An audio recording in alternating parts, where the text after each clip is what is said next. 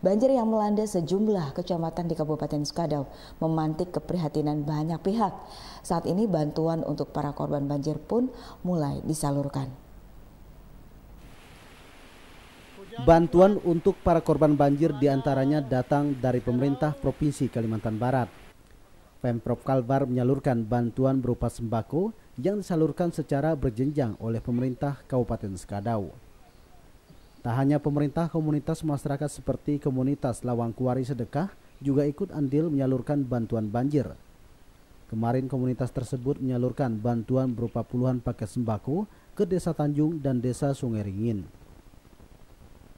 Anggota komunitas Lawas, Dodi Arman mengatakan, bantuan banjir dari Lawas itu disalurkan secara langsung ke warga dengan menggunakan speedboat langsung ke rumah korban banjir.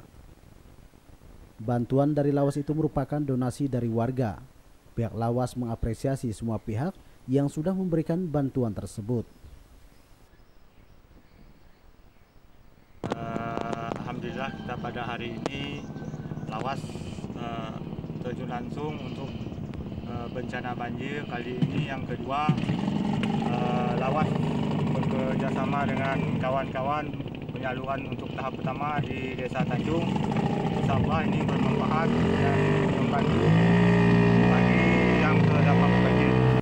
Bantuan dari lawas itu direncanakan akan terus berlanjut. Pasalnya masih banyak korban banjir yang membutuhkan bantuan, termasuk di sejumlah daerah lainnya di luar kota Skadau. Dari Kabupaten Skadau, kontributor YTV Abdul Sukri mewartakan.